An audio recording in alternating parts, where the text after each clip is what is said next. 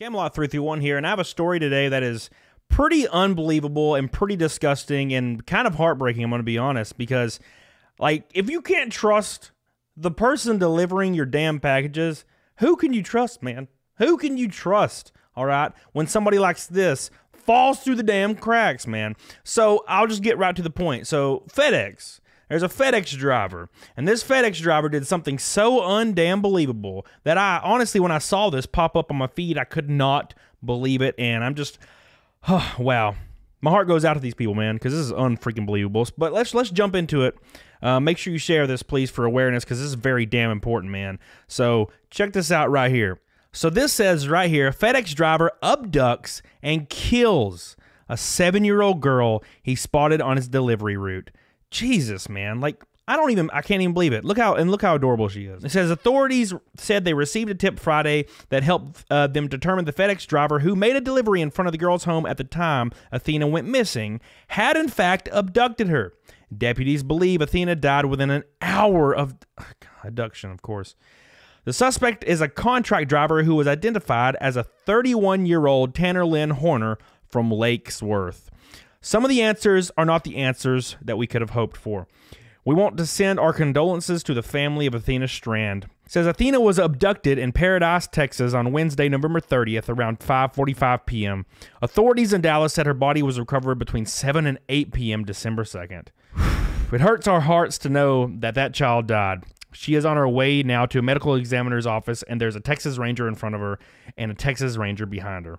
Strand was last seen wearing a gray long sleeve shirt with white flowers, blue jeans with white flowers in the pockets, and brown boots. We are sad that it didn't end the way we hoped it would end, Akin added. Horner has been booked into the Wise County Jail under a $1.5 million bond. He's been charged with murder and aggravated kidnapping. Police say Horner confessed to the crime and has no relation to the family. Just completely random. Says the investigation is ongoing. The fact that he has a bond and can be bailed out is undamn believable to me. I'm honestly, I'm just flabbergasted that this dude can actually be bailed out of jail after kidnapping and, and murdering a seven year old. Like, how is that even possible?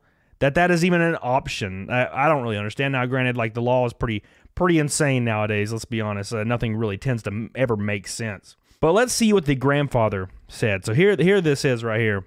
It says, This flesh, this man that I am, is angry, and I want five minutes alone in a cell with the psycho that took our Athena away from us. But there is a soft, gentle voice in the back of my head telling me I need to forgive him. This flesh man wants that psycho to burn in hell. Yet the gentle voice continues to tell me I need to forgive him. Hate is a powerful force that will take root in your soul. Then hate would root itself in my heart and I would be destroyed. The gateway for evil we see growing in the world today. God, look at this freaking bastard. There's not one ounce of my flesh that wants to to do this or say this, but my spirit has heard God's voice, and right now, while my tears flood my eyes, I declare publicly that I forgive this man. Hate will not win. Okay, look, see that this is why. Look, I don't, I don't knock it. I don't knock it at all, man.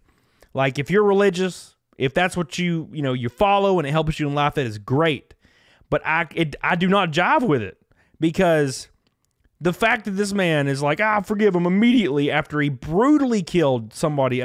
I'm just not from the same cloth. Look, I'm from the Bible Belt in Alabama, but look, I mean, eh, you know, that's his prerogative to forgive somebody, you know, whatever. But cut, I would I would curb stomp this guy so hard that uh, like you would hear it in China.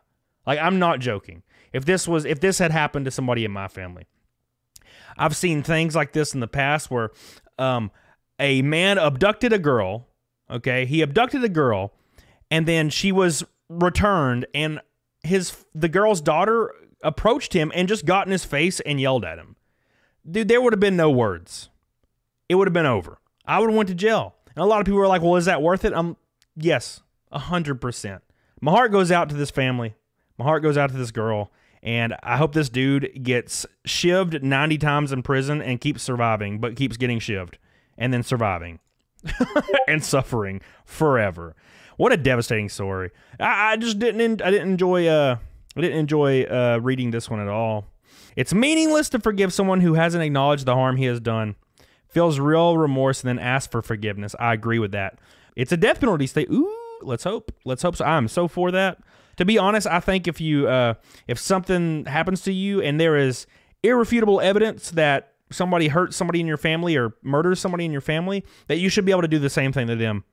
If for like if my mom was attacked and somebody took her life in a brutal way, I should be legally allowed to, after a court, under supervision, to do the same shit to him. Forgiveness is more beneficial for the person doing the forgiving. Otherwise, the anger would take over your life.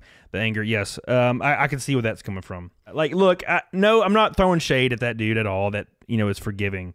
You know, uh, that's pretty admirable that he feels that way. I guess he's a better man than me. I could never do that. I would, I would make it my life's mission to sneak into the court or something and shiv this dude, like myself personally.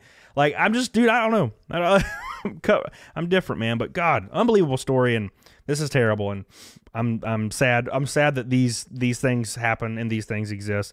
Uh, let me know what you guys think in the comments. Um, would you have forgiven this man? I wouldn't. So get the hell on it, dog on it. Let me know what you guys think. Like the video.